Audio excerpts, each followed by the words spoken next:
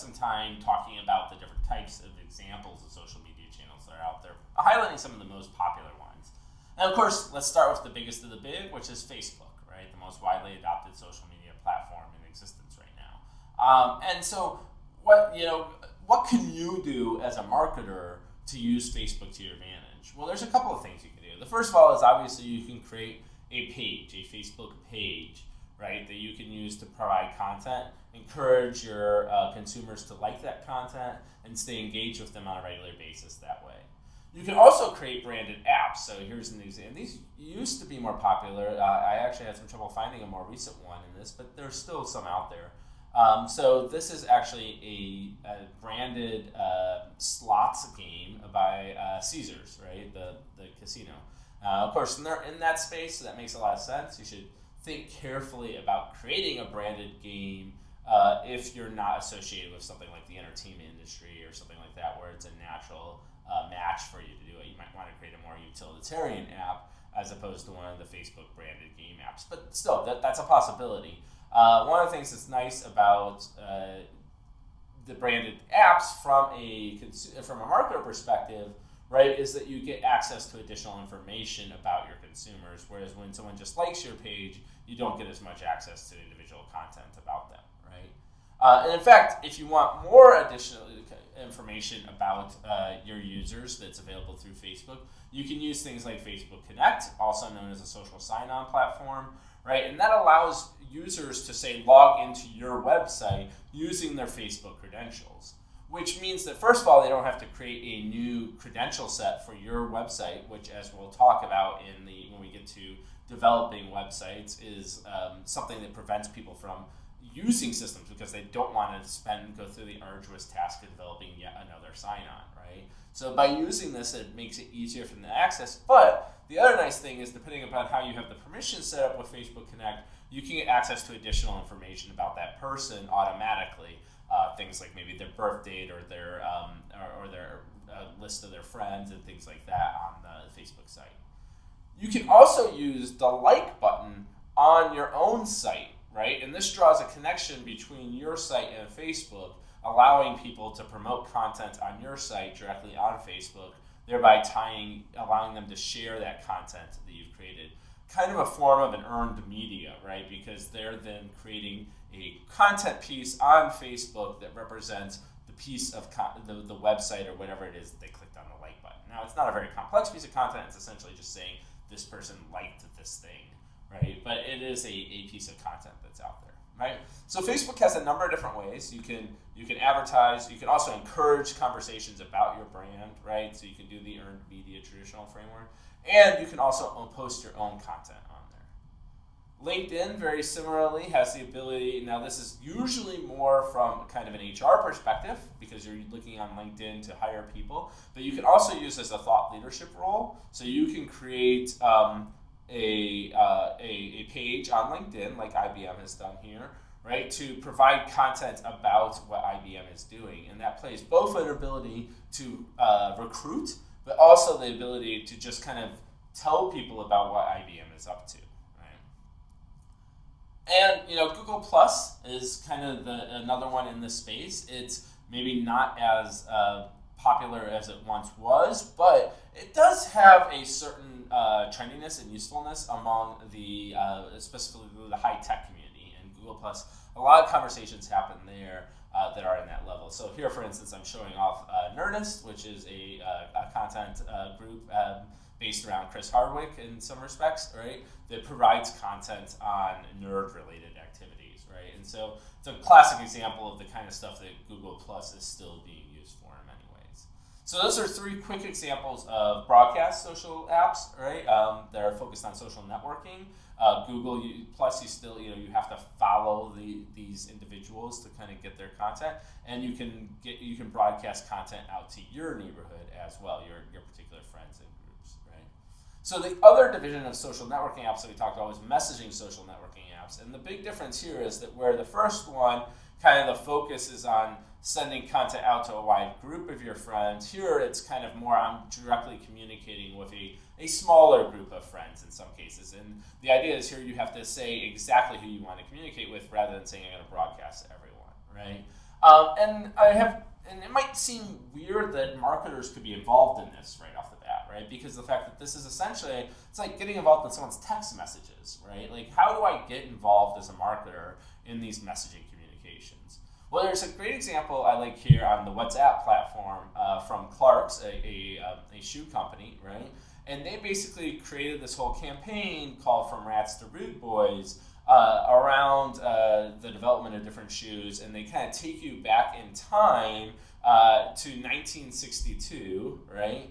Uh, where some of the first shoes that were kind of become popular within the Clarks framework uh, were developed, right? And you're essentially communicating with this guy, Steve Barrow, who is one of the people who originally developed some of these shoes, right? And so you can text directly with them and you get via the WhatsApp app and kind of interact with them. And you'll notice they even have, you know, they put up the little thing saying, by the way, this is not actually Steve Barrow, this is a, a uh, third party advertising company, right? And so uh, just to make it perfectly clear, but you know, it allows you to experiences, and that kind of builds some brand resonance, makes the brand feel more personal, has a lot of positive attributes to it, right?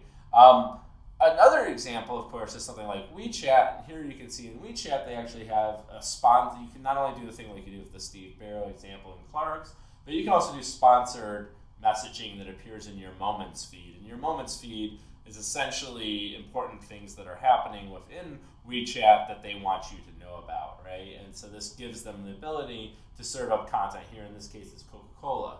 And one of the nice things about the WeChat and the WhatsApp apps is that they're actually also used in a lot of, especially WeChat and Line, which is very popular in, uh, WeChat is popular in China, Line is very popular in Japan. They're um, used uh, also as e-commerce platforms. So not only can you advertise there, but you can actually convince people to actually make purchases directly on those platforms, right? And so this kind of gives you a way to move from social media as a pure advertising platform to actually a purchasing and sales platform as well. And so successfully launching campaigns that combine all those elements can really create for a dynamic digital marketing presence. Okay, so those are the, the network-based apps, the social network-based apps. I, and as I said, these lines are a little blurry, but the primary emphasis in both of these cases, both the broadcast and the messaging apps, is on communicating between peers, right? The other way we go is we can go to something like content creation. Here we're really talking about broadcast, where I put content up and anyone who wants to read it can read it. They don't have to have a previous connection with me, right? Uh, Twitter is a great example of this, right? So here um, I have a couple of examples of, of Twitter content from Eventbrite, right? So in the bottom corner here, we actually have their main feed, right? And Eventbrite is a event technology platform, allows you to buy tickets, things like that for different events going on, right?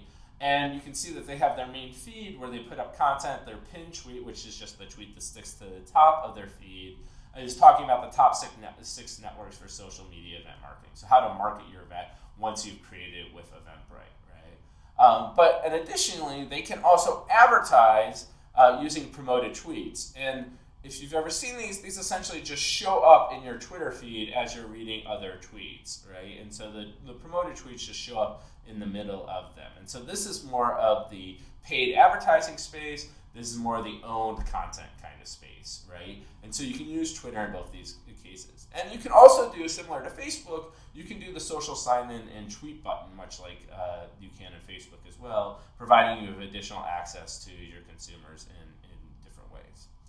And of course, microblogging without actually mentioning blogging, right? And so here we have, for instance, the White House blog, right?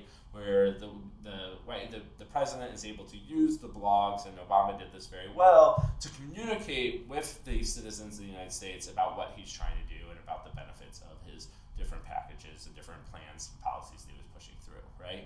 Um, now, blogging is a little old-fashioned. In some ways, it's one of the first, you know, modern social media platforms. If you don't, if you skip over the BBSs and the forums and stuff like that, really blogging was one of the first step forwards in terms of social media. Right? People would start posting these these web pages essentially, which is what web logs, web blogs started as, and then people would comment on those web pages, right? Um, and so you might think that like we've moved past that, right? That there's all these other things out there like Twitter and Facebook and Instagram. Like, why do we still need to think about blogging? But blogging is still really useful in many respects. it can first of all boost search engine optimization. We're going to talk exactly about what that is later on. But the idea is, is that by putting up keywords associated with things that you think your consumers might like or want or need, right, you can draw people into it. So you can put a blog post, for instance, about, um, you know, take the Eventbrite example, about social media tools to advertise your events, right? And you could have a blog post about that. And then when people search for social media events, they could find that particular blog post, right? Um, and it allows you to capture more web search by having blog posts. Things like Twitter, Facebook, Instagram, they're, they're, some of them it's impossible to actually search for on through a traditional search engine, and some of them it's just it's a lot more difficult to do, and they're not weighted as highly. Whereas a blog post gets a lot more weight to it. Each blog post, right, can be and should be its own unique page, providing unique content to your consumers about things that they might be interested in. And you can focus those blog posts around particular unique words, right? Which means you can have this content that is special and unique to that particular page, and you can have several of them with providing different avenues by which consumers can find out about your particular focal brand, right? One way to think of it is they provide a backbone for content sharing. I can go out, I can do my tweeting, I can do my YouTubing, I can do anything else I want to do in terms of social media, and I can have this single blog post that kind of sums up all those different activities, and I can point to in all those, you know, so I can have a YouTube video where I say, if you'd like to learn more about this, read my blog post, right? It provides a backbone or support level for these other more ephemeral social media activities that we're doing. Um, and, and blogs can also be promoted in a number of different ways. So you can actually link to and push blogs in things like blog lists and stuff like that, and they can provide a way to participate in the social media community. So that, for instance, if you're reading something on um, Twitter and someone's commenting about something you wrote about, you can just write a command or write a, a statement saying, you know, hey, I wrote a blog post about this a while ago. You might want to check it, and that way you don't have to have like 20 million messages detailing all the reasons why you think what how to answer their question, right?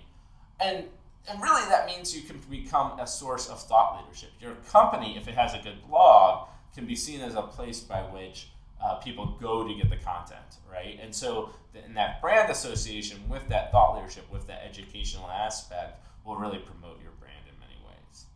I'm going to pause there and we're going to come back and talk about photo share.